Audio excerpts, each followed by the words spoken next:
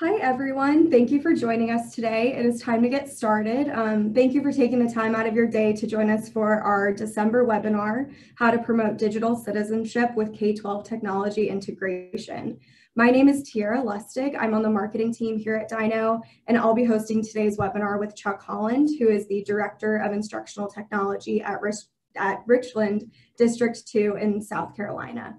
Um, so digital citizenship is a huge topic of conversation right now, and we wanted to sit down today with Chuck and talk about how you can work to promote digital citizenship in, in your school this coming year after the new year.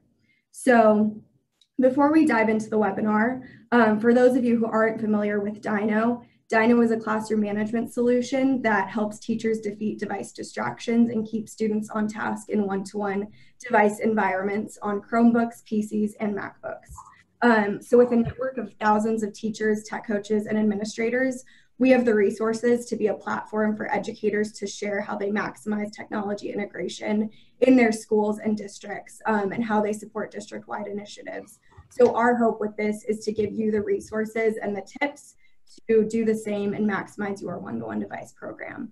Um, so Richland District 2 has been a Dyknow user for about a year and a half. And last month when Dyknow was at SC Ed Tech, we met with Chuck um, and he was talking to us about how Dyknow has helped them promote digital citizenship in their classrooms. And so we thought it would be a great opportunity to go deeper into this topic on a webinar and talk about not only how Dyknow can help you promote digital citizenship in your classrooms, but also how you as a district or a school can promote digital citizenship on a daily basis. Um, so before we dive into our webinar topic, I want to go over what you can expect out of today's webinar. So our webinar is being recorded and it will be made available to everyone after the event. Um, if you registered ahead of time or if you're currently attending, it will be emailed to you today. And then if you didn't register ahead of time, it'll be made available on our YouTube channel tomorrow. So keep an eye out for that and feel free to share it with anyone in your network who you think might benefit from it. Um, we also have a Q&A portion of this webinar, so you can exit out of your full screen webinar at any time and use that Q&A button in the bottom um, and submit a question for me or Chuck to answer, and we'll take those questions at the end. So feel free to submit them throughout the whole webinar as any questions come to mind. Um, so as I mentioned, our topic is digital citizenship, and what you can expect to learn today is what digital citizenship really means and how to encourage it in the classroom on a daily basis, what technology tools can help you teach digital citizenship in the classroom, and how to move students from just being good digital citizens to then becoming digital leaders in their community. So I'm going to jump now, stop sharing my screen so that you can see Chuck and I. Hi, Chuck. Um, like I said, I'm Tiara. I'm on our marketing team. Chuck, do you want to go ahead and introduce yourself, explain your role, and kind of what your uh, initiatives are right now at Richland? Sure. Uh, like Tiara said, my name is Chuck Holland. I am the Director for Instructional Technology in Richland School District 2. Uh, we're located in Columbia, South Carolina. We're a school district of about 28,000 students with about 40 buildings. Uh, so, you know, a good sized district. Uh, we, my role is we, we have a technology and learning coach at every school. Uh, we're very fortunate to have that. Uh, and, and I support, uh, with my team, we support the technology learning coaches with professional development, uh, helping them to um, roll out all of the district technology initiatives you know, we are a one-to-one district, so the, you know, working with teachers on best practices with technology. Uh, and so it's just a, an ongoing, everyday, exciting day, something new kind of experience that we get to do, but mostly working with the coaches, teachers, uh, and, and things like that as they integrate technology into their class. Awesome. So jumping into the webinar uh, mm-hmm. interview portion of this and the discussion that we're going to have. So I understand digital citizenship to be how we teach students to be safe and responsible and effective users of devices and the internet, not only in the classroom, but outside of it. How do you define digital citizenship and what does it mean specifically at Richland? Um, yeah, I agree with everything that you just said. I mean, I think that's a good good brief description of or definition of digital citizenship. but I also think it goes beyond just how to behave online and, and, and that it, it goes to what you do online as well. You know, are you an advocate for uh, different uh, issues? Uh, you know, so it, it's it's behavior is one thing. It, I just I look at digital citizenship really as, you know, what do you do in a digital world? What what is your life like in a digital world? Are are you a positive influence or negative influence? Uh, are you you doing inappropriate things or appropriate things? Uh, it's not about a whole list of things you shouldn't do as much as it's about a list of things that you should be doing, which is the same kinds of things we ask kids to do uh, in the classroom. We spend a lot of time talking about behavior in the classroom, you know, things like how you interact with people, don't interrupt, those sorts of things. We talk about those behaviors in face-to-face world, but there's also a whole list of behaviors uh, and interactions uh, online. And so digital citizenship goes way beyond just don't do bad things you know make sure you cite your sources and things like that it goes beyond that to your everyday interactions online and i think too with today's world the way everything is so intertwined with digital technologies that the behaviors online are becoming more and more important uh, and it's more responsibility now for for us in the education world because we are putting devices in the hands of these students and we're just expecting them to act the right way. But online behavior, we all know, is very different than our face-to-face behavior. It's it's hard for adults to to recognize that difference, and uh, and it's even harder for students to do that. Yeah, I think it's interesting because digital citizenship, in definition, we're calling them citizens in the digital world, and it's a whole another world that we're introducing them to, like you said, and there are different behaviors and different ways of life and, and acting that they have to take into consideration. So, um, what measures has Richland 2 taken to promote digital citizenship in their classroom? Uh, you know, we, we've, we've done lots of different things. You know, we rolled out one to one, I don't know, seven, eight, nine years ago. It's, I, I forget the dates exactly, but it's, it's been a long time. And we, we recognized early on that digital citizenship is going to be key, the behavior online. Um, so what we do right now is we we have an AUP policy for students, which every district has, and and uh, and we we spend a lot of time at the beginning of the year for all students from K through 12 on what's expected in that acceptable use policy. Uh, we have put together videos uh, that we send out, and they are geared towards elementary. One's for middle, one's for high. They're they're leveled based on the audience so that they understand expectations online. We also provide, every student has to go through four hours of um, internet safety, digital citizenship courses per year. Um, and we level those. So we have a series of four classes that kindergartners go through and then a level four classes for first grade. So you never get the same class more than once the same lesson more than one time, uh, but they're all geared around internet safety, digital citizenship, digital literacy, uh, privacy, those sorts of things. So um, we do that based on grade levels. Every student has to do that once a year. We've also implemented a, um, you know, we have those kids who make the wrong decisions online. Uh, and oftentimes the initial response is to take the device away from them. So we've now instituted a, um, it's kind of a digital citizenship course that a student who does the wrong thing goes through uh, in order to keep their device. But more importantly, it helps them learn from the mistakes that they made. Is, is, so we, we try to take that bad experience that they've had and turn it into a learning experience. So they go through this course and the parents also have to go through it as well uh, so that they can understand what's happening and the, the parents is another key aspect that we began we began focusing on last year. Um, we recognize that parents really do not understand the digital world. Uh, and, and so we are spending a lot of time working with parents now on behavior online for students because lots of behavior that impacts the classroom is coming from outside the classroom and the parents they don't understand they don't understand this, you know, Snapchat or TikTok or any other the any of the tools that are the, the kids are interacting on. They just don't understand it. They're not part of it, and so you know they understand Facebook, but kids aren't there anymore. Uh, and so working with parents has been a huge success for us this year. How do you do you have um, learning sessions that parents come to that's required? How do you educate them like that? So what we do with parents is one, we meet, uh, our team meets with the, uh, our superintendent has a parent advisory council. So we meet with that group, uh, our team does, and we go through monthly lessons with them. Uh, we put, we put together a podcast that they also uh, can listen to. Um, and then each of our technology coaches at the school, they typically have throughout the course of the year what we call parent university nights. Uh, and so parents come in. It's usually stuff. It's it's things that our schools have been doing for years, but now we have that digital citizenship component in there for the parents to go through uh, as it relates to their students online.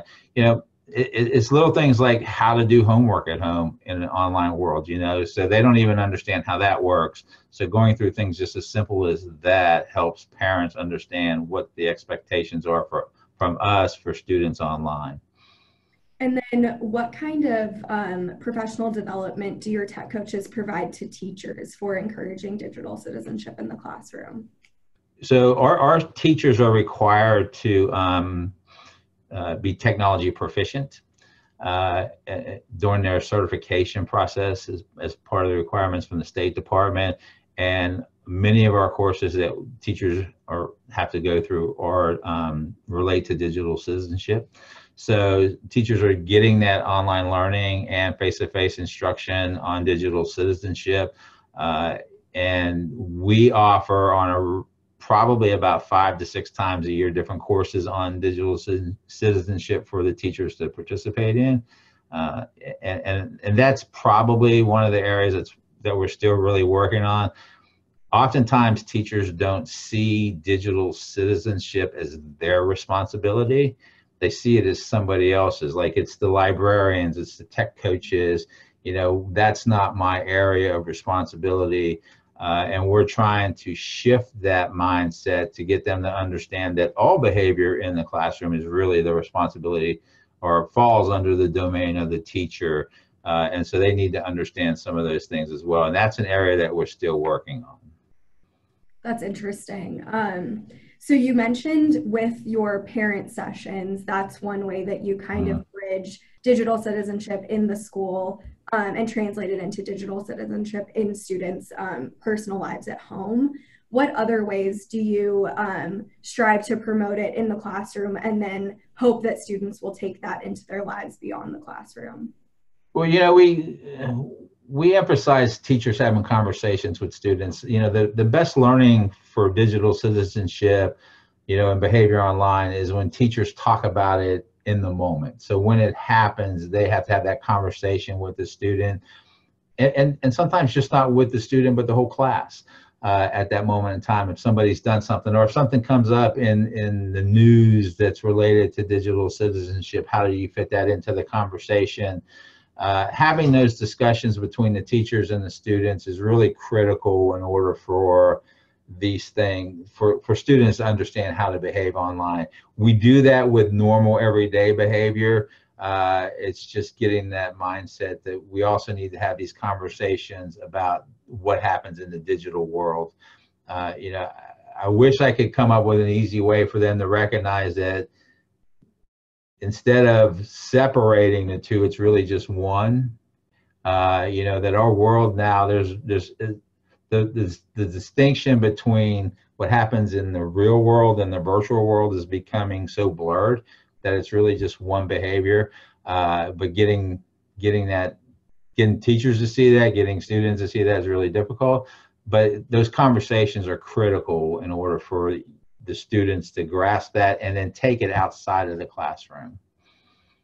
Yeah, it seems like definitely a transition that takes a decent period of time for it does it does effectively Um, so then transitioning to um, Dyknow a little bit, one thing we've heard more recently at events when people stop by our booth and see our product in action, they kind of have an aha moment and they're like, wow, this could really help me teach my students digital citizenship. And I think that's a testament to some of our specific features that help teachers do that. How do you um, encourage your teachers to use Dyknow to promote digital citizenship? Um, so one, one of the things we were looking for in a platform when we chose Dyknow was, you know, first and foremost for Dyknow, our, our, our interest in them at the beginning was the monitoring of the devices. Uh, and one of the things we were really interested in was a, uh, a platform that would monitor students' activity online without the teacher having to sit and watch what was happening. They could, it would do it in the background while teaching was happening.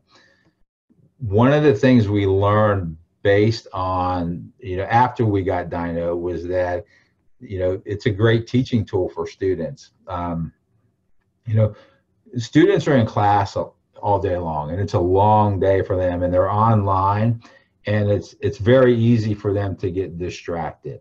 Uh, and, and these things happen. It happens with adults uh, you know, I'm sure in every meeting that we go to, we can look around and see people who are on their devices doing something not related to the meeting that they're in. And, and students are the same way. Um, as adults, we know when to come back and, and make those adjustments. Students don't always have that same skill set yet because they're still developing. Um, but taking that and using it to, to help students is very valuable. So that the ability of Dyknow to just track every website that was visited gives teachers the opportunity to not go and say, ha, I got you. Look at what I see that you're doing, but looking and saying, okay, so Chuck, you, you're in a 90 minute class and I noticed that 30 minutes of your time was spent on ESPN, Amazon, or whatever else the kid is doing and and you're off task. That explains what's happening. And so you can then have that conversation of not you're in trouble for being off task but what are some steps that you can take to stay on task? How do you learn how to manage your time and uh, and stuff so that you do become more productive in the classroom? I think the expectation of bell to bell work is kind of like a fantasy that every teacher has from students uh, but I think you can have that expectation of students being on task more than oftentimes they are. And being able to use the tool in Dyknow that tracks the exact amount of time they're spent on sites uh, and showing the students that you can see that they are off task and then helping them learn how to stay on task is a great is a great tool that we use to help them understand that distractions take away from the learning, but more importantly, um, you you now have a tool to help you eliminate those distractions. So.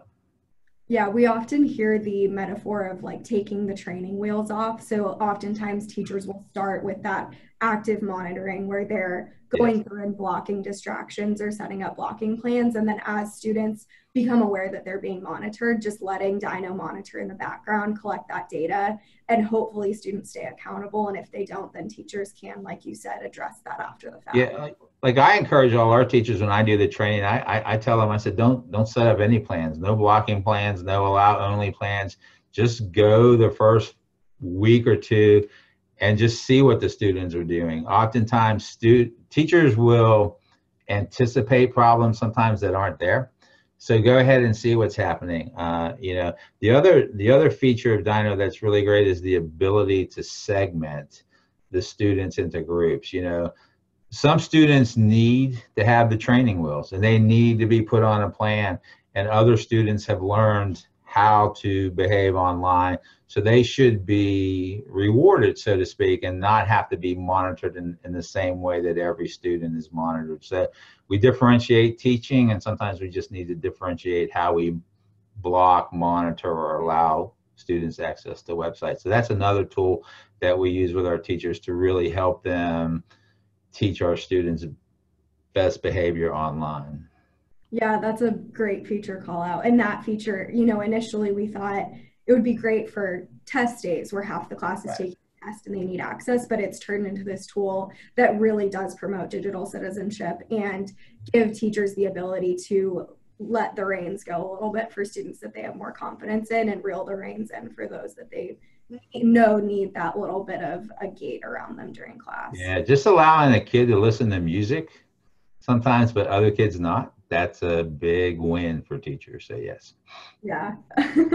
um, well, we're glad that Dyknow's helping you uh, promote digital citizenship in the classroom. So um, I think one of the big things after um, you know you've encouraged students to become good digital citizens is then to get them to be able to lead their peers into also making those practices in their lives. So how do you um, in your opinion, move students from just being good digital citizens to then being digital leaders? Um, gosh, you know, when you when you sent me that question, that was a tough one. It was one of those ones that, but it goes back to the the same kind of things that we do for students who are behaving properly in class. Uh, it's recognizing those students. It, it's it's giving them the shout outs when when they're doing the right thing um, as, as students are recognized for good behavior, uh, it has a tendency to get them to become more that leader outside of the adult supervision. Uh, and, and, so I, I, think the same thing has to happen in the digital world. When students are acting the way we expect them to act online, we need to recognize that. And, and, and then the more recognition you give to the students, the more likely it is that they're going to carry that beyond the classroom that they're going to tell other students, hey, you probably ought not do that. Uh, those sorts of things. Um, you know, I, I, will say that based on my experience, that probably works a whole lot better with the younger students. But our philosophy here in Richland 2 is that if we get the students when they're younger and get them to learn the best behaviors in the digital world at, at, at the younger age, that it makes it much easier when they move into the secondary levels and become less supervised they already have that foundation. And so um, just that constant shout outs to the good behavior is always a great way to go. That's a good, good tip. And it definitely does um, change in between the different age groups for how mm-hmm. they're going to um, call out each other and, and be digital citizens. Um, so then one kind of question to wrap it up, if you had a piece of advice for um, someone in your same role or maybe a tech coach who are newly trying to promote digital citizenship in their district or school, what piece of advice would you give them for starting that off? Uh, my, my first piece of advice would be don't expect to change the world overnight. It, this is a process that takes a lot of time. There's a lot of ingrained behaviors that students are bringing with them to the classroom from outside the classroom that are really hard to break. Um, but I think that the first thing that has to happen is one that teachers need to model the behavior for their students. Um, and, and, so that's that's an easy sell getting teachers to model it, getting teachers to talk about that behavior, um, and, and and work with parents because we've seen the biggest change uh, after we start talking to parents because the parents are just they, they're just so unaware of what's happening online that they don't even know like you know some parents were like you know we told them we said check their passwords and and check their emails or their instagram accounts and follow and they're like well they don't want me to follow them I'm like you're the parent. You can follow or you can you know. So um, but having parents on board is a great resource baby steps uh, are really the best way to go. Uh, don't expect change to happen overnight. Stay persistent in the process. Uh, be intentional about the actions that you take, and, uh, and and and recognize that we're working with students. Uh, and and then look around the room at the adults and see how they have a struggle with online activity our students have a bigger struggle, and so we got to be a little bit more patient with them. Those are some great pieces of advice that I'm sure our audience will benefit from. Um, that was all of the discussion that we had for today's webinar. If anyone has any questions, now is your time to submit them. It doesn't look like we've had any throughout the webinar, so I'll give it about a minute, let people submit their questions. Um, we're always producing new content um, to be helpful for ed tech initiatives um, like digital citizenship for tech coaches, teachers, and administrators out there. So feel free to visit our blog um, on our website at dyknow.com. Um, follow us on Twitter, and we are ramping up our YouTube page. So we will have some really great content on there starting next week. Um, and we can't wait to share that with you. Doesn't look like we're getting any questions, Chuck. So I think we're going to wrap this up. Um, thank you so much for helping us host this webinar today. I think we had a lot of great um, conversation about digital citizenship and some good tips for how educators can promote it in their schools. Um, have a great holiday season, everyone. Have a great holiday, Chuck, and thank you again for participating. All right, thank you.